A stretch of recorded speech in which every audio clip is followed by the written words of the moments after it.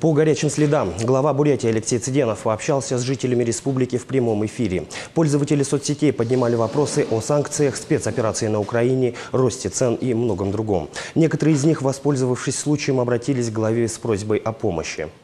Не могу этот вопрос не задать. Владимир Шапеев пишет. Идет строительство жилого комплекса в поселке Зеленом. Зарплату не выдают с февраля месяца. Можете решить эту проблему? Ну, взял работу. Вы напишите. В сентябре прошлого года Улан-Удэ стройзаказчик заключил контракт на строительство многоквартирного дома для переселения людей из ветхого аварийного жилья. Чтобы выяснить, почему рабочим несколько месяцев не выплачивали зарплату, мы обратились к подрядчику. Были сложности там вот у нас с проектом, очень сложный объект, и поэтому вот э, произошла вот такая задержка.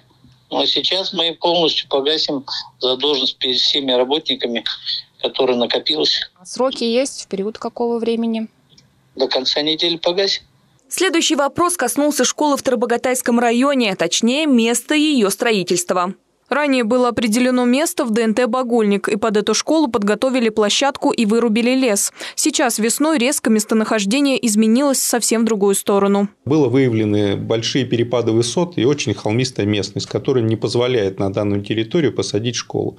Вот почему был рассмотрен вариант переноса этого участка на участок, ну, немножечко, скажем так, находится на территории административного образования города Улан-Удэ.